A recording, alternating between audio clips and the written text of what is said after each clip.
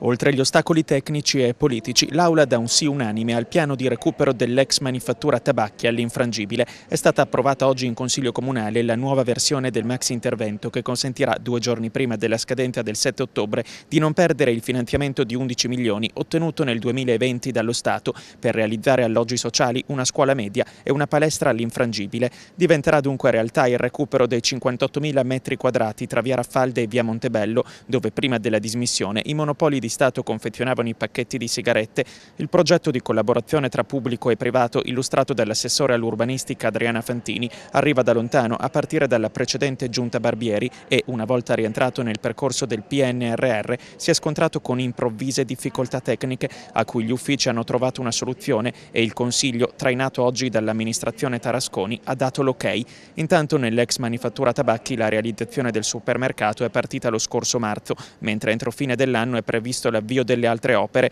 per gli alloggi sociali da affittare e il polo scolastico, la scadenza è il secondo trimestre del 2026. L'ex sindaco Patrizia Barbieri, capogruppo della civica di centrodestra, ha riconosciuto l'impegno trasversale per questa pratica complessa, annunciando il suo voto favorevole, ma ha comunque incalzato sugli incarichi esterni di consulenza, pari a circa 80.000 euro, contestuali alla procedura.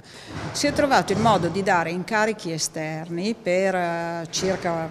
80.000 mm, euro, quando in realtà le professionalità sono all'interno, a mio avviso. Cioè che senso ha ad affidare ad uno studio di Genova un incarico incarico di 55 mila euro di supporto al RUP quando noi abbiamo l'ufficio legale. Anche Luigi Rabuffi di Alternativa per Piacenza, dai banchi della minoranza, non ha risparmiato alcune critiche al maxi piano. La viabilità, è chiaro che portando lì una scuola con 250 eh, alunni, portando lì eh, dei, una palestra, portando lì un giardino, mettendo lì eh, tutta una serie di presidi, come anche il supermercato, tanta gente confluirà in quell'area. Forte soddisfazione dalla maggioranza. È una pratica che la città attende da anni, del 2009 il primo passaggio in consiglio comunale, parliamo di una scuola, una palestra, 143 alloggi di housing sociale inizialmente con eh, fondi PNRR per 11 milioni, quindi anche qua secondo noi sta il voto trasversale, un'opera che serve alla città e finalmente si riqualifica